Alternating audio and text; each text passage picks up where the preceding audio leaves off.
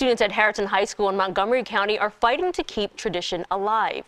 They're protesting the school's decision to change the name of a popular fundraising event to something more gender neutral. Students and parents packed the Lower Merion Township School Board meeting last night. Many of the students are upset over the district's decision to change the name of an annual event called Mr. Harriton to Mix Harriton. Our district has made a real commitment to being gender inclusive. And the perception was with the name of Mr. Harriton and also at our other high school, Mr. Lower Merion, the perception was that girls were not equal partners. Infringing on the satirical nature of what this show started out as is truly infringing on the idea of inclusivity.